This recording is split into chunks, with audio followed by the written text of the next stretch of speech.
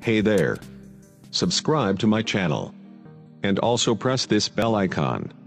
So you never miss any new updates cause whenever we upload new video you will get a notification on your phone. Hi friends welcome to the desk Deva English spoken class friends एक video बनाया था मैंने कि पाँच minute में किसी का भी नाम लिखना इंग्लिश में कैसे सीखें तो वो वीडियो बहुत पसंद किया गया है और उसमें से ही कुछ दोस्तों ने कमेंट किया है, पूछा है मुझसे कि, सर, नाम लिखना हिंदी में, हिंदी का नाम लिखना इंग्लिश में आपने तो बता दिया, हम सीख भी गए।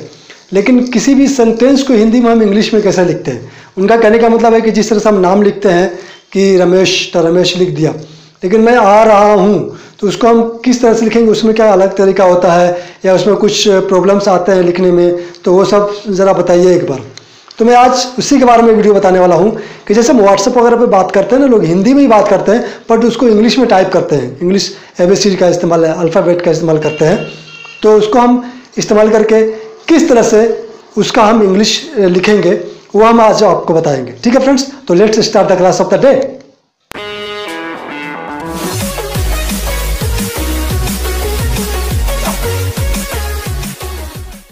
friends तो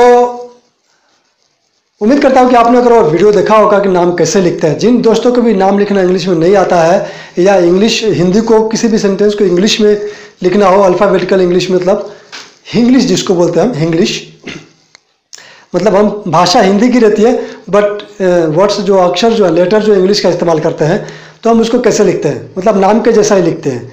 तो आइए चलिए हम शुरू करते हैं, लेकिन सबसे पहले हम देखते हैं ये कन्वर्सेशनल वीडियो तो देखिए। Yesterday evening when I was calling you again and again, why were you not receiving my call? Oh sorry yaar, actually that time I was in bathroom and taking bath. Oh, it's okay. One day I saw you standing at the college campus. What were you doing there? Oh, what were you waiting for? Nothing yaar. I was waiting for my sister. She Oh. study there in that college. Vivek, do you know last Sunday when I went to your house, your younger brother was smoking. Oh, Oh really? Yes yaar, you must to tell him not to smoke. I will. Okay friends तो let's start ये मैंने पूरा लिख दिया हुआ है अगर आपने पिछला वीडियो देखा होगा नाम लिखने वाला तो ठीक है अच्छी बात है और भी अच्छी तरह से समझ में आ जाएगी अगर नहीं देखा होगा तो भी आप इसमें देख लो यही सेम चीज़ मैंने उसमें भी लिखा था कि अ के लिए ए मतलब ये अ आई का इंग्लिश है, और ये मात्रा, जब मात्रा आता है तो हम उसका इंग्लिश ऐसा लिखते हैं। अगर इसे समझ में नहीं आए तो ये समझ लेना। अभी मैं एक एक करके सेंटेंस लिखता हूँ और उससे समझाता चलता हूँ। ठीक है फ्रेंड्स जैसे, तुम, क्या कर रहे हो? मतलब अगर हम किसी से पूछना चाहते हैं व्हाट्सएप पे कि तुम क्या कर रहे हो तो उसको अगर हम इंग्लिश में टाइप कर रहे हैं तो क्या, कैसे करेंगे? तो त का इंग्लिश आप जानते होंगे अच्छी तरह से कि टी होता है। त का टी अगर आपको कखा गखा का इंग्लिश नहीं आता होगा तो आप किसी भी बच्चों की बुक से मतलब आप जान लेना, समझ लेना, सीख लेना उसको। बहुत ईजी है। कैसे का एच, खा, जी से गा, जी एच, गा, वो याद कर लेना, फिर ये बिल्कुल ईजी हो जाएगा। ठीक है फ्रेंड्स तो ये मैं आपको समझाने के लिए मैंने लिखा है पूरा। ये आप इस पर ध्यान दे देना कि त का इंग्लिश तो टी होता है, लेकिन इसमें मात्रा कौन सा है? ये मात्रा देखो आप। यू का ऊ का मात्रा है, ऊ का। ऊ का मतलब ये ऊ है, अब ये मात्रा कैसा है? ऐसा है। तो ऊ का मात्रा हम लगाएँगे तो यू लगाएँगे। यू, तू और म, तुम। ठीक है? क्या क्या कर रहे हो? तो क का के होता है, इसमें हम ए नहीं लगाएँगे क्योंकि आधा क है। फिर उसके बाद आगे वाला लेंगे य। वाई का मतलब य। फिर ये इसमें आ का मात्रा है, इसमें हम ए लगाएँगे। क्या? फिर इसमें के ए के ए लगाएँगे इसमें। कर। कर बोल रहे हैं ना? क, र, कर। तो क और र। इसमें लास्ट में हम ए का मात्रा नहीं लगाते। लास्ट में हम ए का मात्रा तभी लगाते हैं जब उसमें आ का मात्रा दिया हो। आ मतलब ऐसा, आ का मात्रा। इसमें य का मात्रा, य में आ का मात्रा है वैसा। रहे मीन्स आर ए फिर ह का एच और ए का मात्रा।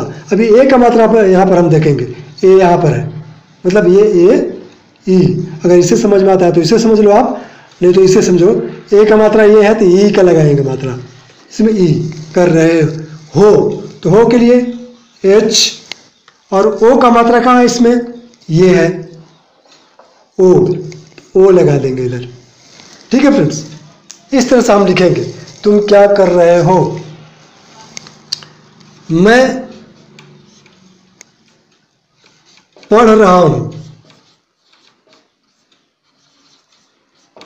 मैं पढ़ रहा हूँ। तो म के लिए एम लगेगा। इसमें अभी आय का मात्रा है। तो आय का मात्रा किधर है दोस्त? ये औ का मात्रा है, यहाँ पे मैंने छोड़ दिया था। ये आई का मात्रा है, ऊपर दो है। तो उसमें ए आई लगा है। तो इस मात्रा के लिए हम ए आई लिखते हैं। पढ़। प और ढ, पढ़। ढ का मतलब डी एच होता है। रहा, आर, ए और एच, ए। क्योंकि ह में यहाँ का मात्रा है, इसलिए हम ए लगाएँगे। हूँ। अब हूँ के लिए ऊ का मात्रा इसमें है। तो ऊ का मात्रा किधर है ये है। इसमें डबल ओ लगाएँगे या यू का मात्रा। हम ऊ के लिए जो बड़ी ऊ की मात्रा होती है, उसके लिए हम डबल ओ का भी इस्तेमाल कर सकते हैं और यू का भी इस्तेमाल कर सकते हैं। तो यहाँ पर आप यू का भी इस्तेमाल कर सकते हैं और डबल ओ भी लिख सकते हैं। हूँ। अब इसमें ऊपर बिंदु है। तो किसी भी लेटर में, किसी भी अक्षर में जब ऊपर बिंदु आता है तो उसके लिए हम इंग्लिश एन लिखते हैं। तो एल लगा देंगे यहाँ पर। हूँ ठीक है फ्रेंड्स इस तरीके से होता है। अभी हम एक अलग तरह का नाम ले, जैसे नाम होता है कृष्णा। कृष्णा, आ, ता, नहीं है। कृष्णा आता नहीं है। ऐसा बोलते ना, कृष्णा आता नहीं है। तो कृ, एक कृ का मात्रा है, ये ये मात्रा है, देखो, ऐसा मात्रा है। तो जब भी ऐसा मात्रा है तो उसमें आर लगाएँगे और आई लगाएँगे, कृ। ठीक है, फ्रेंड्स? मीन्स, का में ऐसा हम फाड़ते हैं, ऐसा। क्री वैसा भी लिख सकते हैं और ऐसा भी लिख सकते हैं। कृष। और का मतलब न, ए, कृष्णा आता नहीं है तो आ हम डबल ए भी लिख सकते हैं आ के लिए और ए कैसे भी चलता है। तो आता लास्ट में डबल ए लिख देते हैं, ताकि समझ में आ जाएगी कि हाँ डबल मात्रा ही वाला ही है। आता, नहीं, न, और ही, बड़ी की मात्रा है तो बड़ी की मात्रा के लिए क्या? आई लगाएँगे। जब भी फ्रेंड्स जब भी किसी भी शब्द में, अक्षर में, जब लास्ट में बड़ी की मात्रा होती है तो उसके लिए हम इंग्लिश में आई का इस्तेमाल ज़्यादातर करते हैं। अगर बीच में रहती है तो हम डबल ई का इस्तेमाल कर सकते हैं। लेकिन जब लास्ट में होता है तो हम ज़्यादातर आई का ही इस्तेमाल करते हैं, डबल ई नहीं लिखते हैं। ठीक है फ्रेंड्स? इसलिए मैंने दोनों यहाँ पर लिखा है कि डबल ई भी लिख सकते हैं और आई भी लिख सकते हैं। ठीक है? अभी तरह से प्र है। प्रीतेश। प्रीतेश बुला रहा है। प्रीतेश बुला रहा है। तो प्री, किसी भी हिंदी का जो अक्षर होता है, किसी भी अक्षर में जब ऐसा है, ये फाड़ा हुआ तो उसका मतलब समझ लेना रा होता है उसका मतलब आर। तो पी पहले लिखेंगे प का, फिर इसके लिए आर लिखेंगे, फिर इसमें मात्रा क्या लगा, ई का तो उसका आई लगाएँगे। फिर त त में ए का मात्रा है तो ई लगेगा, फिर श। प्रत्यक्ष बुला तो बू ऊ का मात्रा है तो ऊ का मात्रा के लिए यू लिखेंगे। बू। फिर ल में आ का मात्रा इसलिए आ रहा आ रे, ह में आ का मात्रा इसलिए हा, है। तो है है में कौन सा मात्रा है? मैंने बराबर में लिखा है। ये कौन सा मात्रा? है ये ए आई लगा देंगे, है।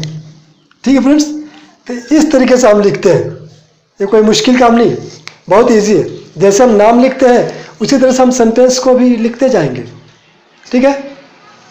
तो अब उम्मीद करता हूँ कि इस क्लास के बाद आपको कोई भी कन्फ्यूज़न या प्रॉब्लम नहीं होगा जब भी आप व्हाट्सएप पे बात कर रहे होगे। अगर आप इंग्लिश नहीं जानते इंग्लिश में बात नहीं कर सकते हैं, हिंदी को ही इंग्लिश अल्फ़ाबेटिकल लेटर से टाइप करके आप लिखना चाहते हो तो आप लिख सकते हो इस फार्मूला के द्वारा। ये मेन है, इसको आप समझ लेना। ये सामने आपको याद रहेगा तो आप इसमें कैसा भी हिंदी आएगा तो आप उसको लिख सकोगे। ठीक है ना फ्रेंड्स अब इतना याद रखना। कि कहीं भी आधा आधा हो आधा का है तो वहाँ पर हम सिर्फ़ के ही रखेंगे। कोई भी आधा अक्षर है तो उसका, उसमें हम ए नहीं लगाएँगे। ए कब लगाते हैं? जैसे हम आपको समझाता हूँ ये कब लगाते हैं और कब नहीं लगाते हैं। देखिए, मैंने यहाँ पे दो नाम लिखा है, बलराम और जानता। मीन्स दो शब्द लिखे हमने। तो दोनों शब्दों में मैं आपको ये बताने की कोशिश करूँगा कि ए हम कब लगाते हैं और कब नहीं लगाते हैं। जैसे, बलराम है। तो इसको हम लिखते हैं बल। अब यहाँ पर आप पूछेंगे कि यहाँ पर एल में ल ए क्यों नहीं मतलब लगाया आपने? क्योंकि पूरा ल है, यहाँ पर आधा ल नहीं है। जब आधा होता है तो सिर्फ़ एल आता है। अगर पूरा होगा तो ए ले आएगा। लेकिन यहाँ पर ए क्यों नहीं आ रहा है? क्योंकि बलराम, हम बलराम, दो यहाँ पर हम स्टॉप होते हैं। यहाँ पर एक ब्रेक आता है, बलराम। अब हम ऐसा नहीं बोलते, बलराम। बलराम नहीं बोलते ना हम? ल का उच्चारण हम पूरा नहीं करते, इसके लिए वहाँ पर हम ए नहीं लगाते हैं। किसी भी शब्द में हम, जैसे बड़े शब्द होते हैं तो उसमें बीच में हम कहीं अगर स्टॉप हो रहे हैं वहाँ पे, और उसके बाद फिर से वहाँ पर हम किसी भी अक्षर पर हम पूरा उच्चारण उसका नहीं करते हैं तो उस अक्षर पर हम ए नहीं लगाते हैं। जैसे, जानता तो जा जा हो गया, जान। जानता तो जान पे हम रुक रहे हैं जान नौ पे रुक रहे हैं हम, जानता।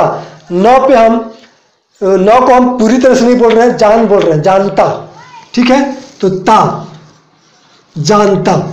ठीक है फ्रेंड्स अगर इसको हम ऐसा बोलते हैं कि जानाता जानाता बोलते हैं तब यहाँ पर एल में ए लग जाता। तब जानाता हो जाता। ठीक है फ्रेंड्स लेकिन जानता नहीं बोलते, हम जानता बोलते हैं, इसके लिए हम ए नहीं लगाते यहाँ पर। काफ़ी सारे स्टूडेंट्स कंफ्यूज रहते हैं इसमें कि सर कहाँ ए लगाना है, कहाँ ए नहीं लगाना है? तो काफ़ी छोटे बच्चों को दूसरी तरीके से समझाना पड़ता है क्योंकि वो इस चीज़ को नहीं समझ पाएँगे। लेकिन आप बड़े हैं तो आप अच्छी तरह से समझ सकते हैं कि हम किसी भी शब्द को बोलते वक्त कहाँ पे हम रुक, रुकावट आ रही है, कहाँ पे रोक रहे हैं, किस वर्ड्स को हम पूरी तरह से नहीं बोलते, उसका उच्चारण नहीं करते तो वहाँ पर हम ए नहीं लगेगा, नहीं लगाएँगे। ठीक है फ्रेंड्स तो ये था आज का क्लास और उम्मीद करता हूँ कि आप अच्छी तरह से समझ गए होंगे कि हम किसी भी हिंदी सेंटेंस को इंग्लिश में अल्फ़ाबेटिकल इंग्लिश यानी इंग्लिश में लिखना चाहेंगे तो कैसे लिख सकते हैं? ठीक है फ्रेंड्स तब तक हमारा वीडियो देखने के लिए थैंक्स थैंक्स अलॉट एंड धन्यवाद।